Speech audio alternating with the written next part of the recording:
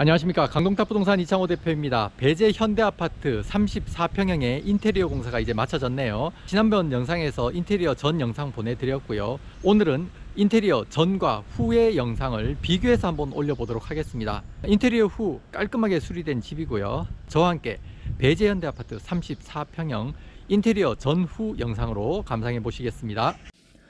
네 현관문을 열고 들어오면요. 전체적으로 화이트, 아이보리 색깔이 약간 들어간 화이트 톤으로 바닥까지 통일을 하셨습니다. 신발장이 있고요. 한쪽에 전신 거울을 달아놓아서 아침에 어, 옷 매무새를 단정하게 만들 수 있겠고 거실을 분리하는 가벽도 설치되어 있습니다.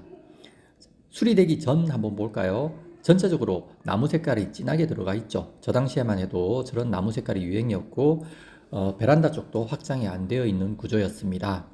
화장실을 보시면은 기존에는 욕조가 있었는데 욕조를 없애고 샤워 부스로 만들어 놓았습니다. 화장실이 많이 넓지 않다 보니까 공간을 좀 효율적으로 쓰시려고 그러신 것 같고요. 지금 여기는 슬라이딩 중문을 달 계획이라고 하세요. 근데 조금 업체가 늦어져서 인테리어가 내일이 이제 잠금 입주 청소인데도 아직 슬라이드 중문을 못 달았네요. 어쨌건 중문이 달리면 더 깔끔할 것 같고 안방으로 한번 들어가 보도록 하겠습니다. 안방이 지난번 영상에서 광활한 느낌이라고 했는데 붙박이장이 굉장히 큰 게 들어와 있습니다. 장이 큰 게 들어오고 나니까 조금 좁은 느낌은 들지만 그래도 큰 침대가 들어와도 남는 공간은 넉넉할 것 같습니다. 화장실도 깔끔하게 수리되어 있고요.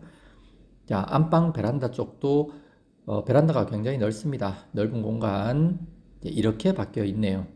이중 샷시 다 달려 있고요. 자, 화장실 지나서 이제 작은 방으로 한번 들어가 보도록 하겠습니다. 작은 방 같은 경우에 뒷베란다와 마주하고 있는 작은 방은 여기도 이중 유리를 달아놨습니다. 왜냐하면 뒤쪽 베란다에 보일러가 보이죠? 보일러가 달려있기 때문에 소음을 어, 차단하기 위해서 이중 유리 그리고 여기 창고 공간은 원래도 있던 공간이라 특별하게 바꿀 수 있는 구조는 없는 것 같아요. 그대로 사용하시면서 문만 교체를 하셨네요. 자, 부엌 쪽을 지나서 부엌 쪽 이렇게 보이시죠? 부엌 옆에 있는 작은 방 한번 보시겠습니다. 수리되기 전을 먼저 보시는데요. 아, 좀 지저분한 건 감안하시고 구조만 보셔요. 샤시도 이미 한 번 교체가 된 샤시임에도 다시 한 번 교체를 이번에 다 전면 교체를 하셨고 뒤쪽에 백일동 쪽과 까치공원이 함께 내려다 보입니다. 자, 이번에는 수리된 요 공간에 식탁을 놓을 공간으로 활용을 하실 것 같아요. 식탁 놓을 공간 지나서 보시면은 네, 깔끔하게 마무리만 하셨습니다. 자, 이번에는 요거 방을 나와서 부엌 쪽으로 한번 가볼 텐데요.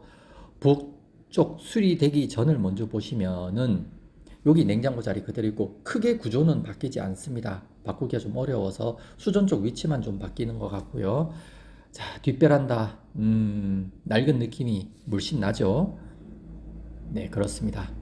이런 집이 이제 여기 보일러는 최근에 교체된 거라 배제 현대 같은 경우에는 보일러를 전체 교체를 이번에 하셨습니다.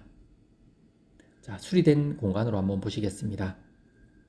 냉장고 자리, 그리고 식기세척기, 식기세척기 요즘은 기본 옵션이죠. 식기세척기 넣을 공간, 그리고 컵 등이 올라갈 작은 선반도 있고요. 위쪽에 수납장 넉넉하게 있고 인덕션, 그리고 앞으로 창을 또 이렇게 내서 깔끔하게 했고 뒷베란다도 네, 분리되는 유리문을 아주 깔끔하게 만들어 놓으셨고 전체적으로 샤시도 교체하면서 뒷베란다가 무엇보다도 깔끔해졌습니다. 집에 이 창만 교체를 해도 많은 것이 바뀌는 것 같아요.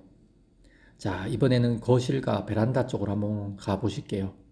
동시에 보시면은 어떤 느낌인지 이해되시죠? 옛날에 나무 느낌, 물씬 나는 느낌에서 수리되기 전부터 먼저 보시면 104동 같은 경우에는 배제고등학교 운동장이 바로 앞에 있습니다. 영구 조망을 가진 녹색 영구 조망을 가진 그런 배제 현대 운동장을 앞마당처럼 보고 계시고요. 옛날 베란다는 뭐 그렇죠. 이 정도 수준에서 한 25년이 넘다 보니까 낡은 느낌이 많이 나고요. 리모델링 얘기가 오가고 있는 배제 현대 아파트입니다. 양쪽에 창고 공간이 넉넉하게 두 곳에 창고 공간이 자리 잡고 있습니다. 자, 확장 공사와 어, 창틀 공사를 마무리한 배제 현대 아파트 34평형 한번 보실까요? 베란다 쪽도 바닥 타일 다 교체하셨고 무엇보다도 수납 공간이 넉넉하겠습니다. 이쪽 공간은 뭐 특별히 수리는 하지 않으셨어요. 근데 문을 깔끔하게 바꾸시고 베란다 바닥 바꾸시고 하시면서 그리고 여기 확장하면서 전체적으로 어, 거실 공간이 훨씬 더 넓어졌다고 하겠죠. 자, 이상으로 배재현대 아파트 34평형 수리 전후를 둘러보셨습니다. 어떠세요? 낡은 아파트가 수리되면 이렇게 바뀐다. 제가 한 2년 전쯤에 배재현대 아파트 수리된 거 영상을 올려드렸었는데요. 오랜만에 한번 다시 올려드렸습니다. 보너스로 104동에서 바라보이는 영구 조망, 배재 고등학교 운동장을 한번 보시면서 배재 현대 아파트 궁금하신 분들은 언제나 저희 강동탑 부동산으로 문의 주시고요. 어, 성심성의껏 물건 소개 그리고 주인분들께서도 물건 안내 저희한테 주시면 저희가 좋은 임차인 또는 매매 진행되도록 노력하도록 하겠습니다. 이상으로 강동탑 부동산 이창호 대표였습니다. 감사합니다.